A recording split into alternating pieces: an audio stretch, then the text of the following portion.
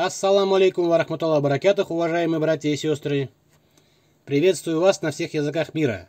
Сегодня вышло возмутительное видео про астраханских нугаев, которых татаристы называют юртовскими татарами. После круглого стола, прошедшего в среде юртовских нугаев онлайн, все вопросы должны были отпасть. Но, как видите, вопросы остаются. Э, что мы видим, ну, что я вижу из архивов, э, если мы берем э, ревизские сказки, которые составлялись русской администрацией, то мы видим, что там написано везде татары, юртовские татары, астраханские татары. А, но как только мы, мы смотрим в метрике, то мы видим там только Нугай. И ни разу вот за все время, которое я читаю астраханские метрики юртовские, я ни разу не встретил упоминания слова татар. Даже по отношению к казанским татарам, к мишарам, да, их а, именно обозначают как казанлы. Вот. И э, а во всех остальных случаях, вот когда дело касается юртовских или же харагаш ногаев, то обозначают юртовские э, ногай или харагаш ногай. То есть именно так, что ногай, ногай, везде мы встречаем это слово ногай.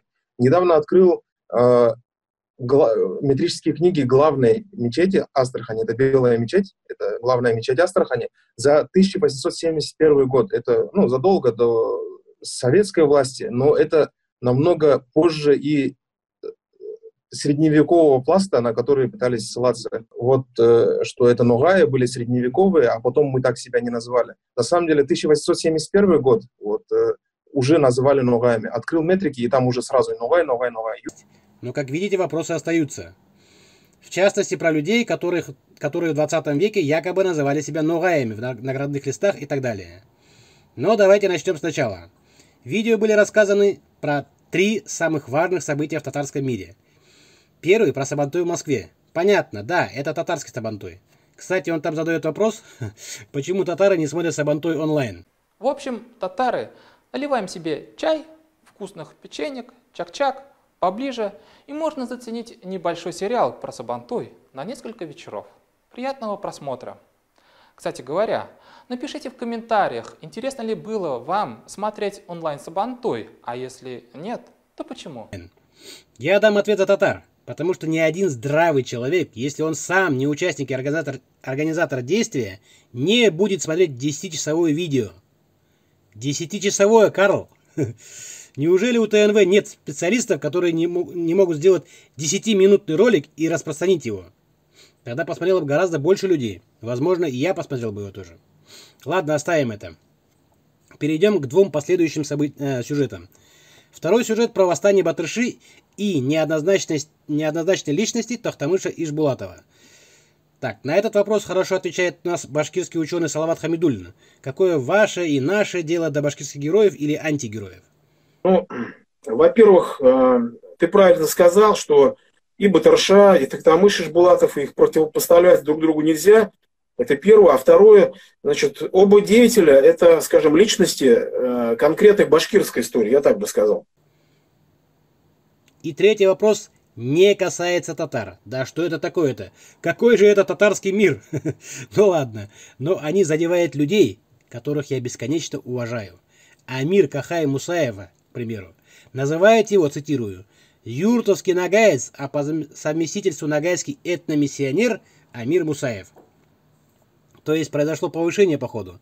В прошлых видео мы были младшими нагайскими этномиссионерами. Мы считаем, что большой вклад в это вносят башкирские этномиссионеры. В предыдущих выпусках мы уже называли их имена. Это Салават Хамидулин, это Азат Бердин и Юлдаш Юсупов. Мы провели тщательное исследование тюркских сообществ в соцсетях и выявили, что, оказывается, башкирские этномиссионеры ведут активную подготовку новой когорты таких же этномиссионеров, но уже среди нагайских активистов. Этнокультурные притязания младших нагайских этномиссионеров направлены на татар Астраханской области. Их задача – переписать 30-40 тысяч татар Астрахани в нагайцы. Я так понимаю, старшие это башкиры. Ну ладно. Первый вопрос, который задает Ильнур Ярхамов, почему только Астрахань отатарили? Почему Дагестан, к примеру, не трогали? Вопрос, конечно же, справедливый. Но, как ни странно, сегодня же вышел ответ уважаемого Исмаила Черкесова. Оказывается, в Дагестане тоже пытались. Ссылку я оставлю в описании к видео. Смотрите и убедитесь. скажите мне, были ли вот такие процессы, э, попытки да, провести татаризацию, в частности, вот в Ногайском районе Дагестана? Если были, то каковы были результаты? Да, ассаламу алейкум. Алейкум. Да, я от учителей, от, в частности, от учителя нагайского языка села Кумли, в котором я живу, село, Кумли, в котором я родился, вырос. Там у нас Хамид Галиевич Копкозов, учитель нагайского языка.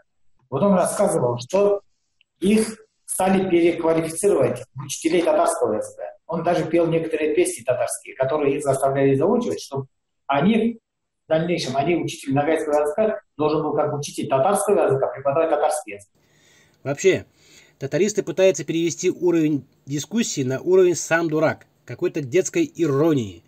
В наших видео про татаристов выступают известные ученые, некоторые со степенями в науке, известные политические деятели, общественные лидеры. Амир Мусаев лично сам имеет историческое образование.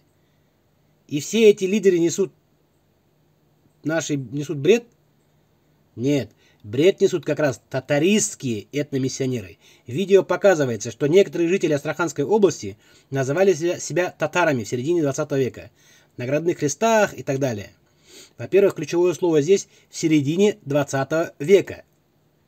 Во-вторых, жители Астраханской области в комментах разгромили татариста Ильнура Ярхамова в первые же часы после выхода видео. Если не удалили, то заскриню и вставлю видео.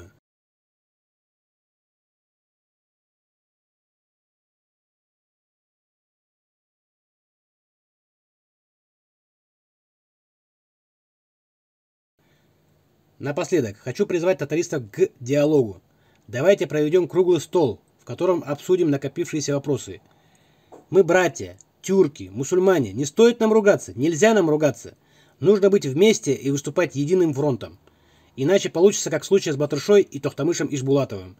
Это как Ильнур Ярхамов не поддержит какого-нибудь сепаратиста в современном Татарстане, и потомки его запишут в предатели. Ну а Батырша, конечно же, это у нас герои герой башкирского народа, так же, как и Амир Мусаев, герой нагайского народа, о котором мы еще сложим стихи и эпосы. С уважением и любовью к своим слушателям, Беклербек Ногай.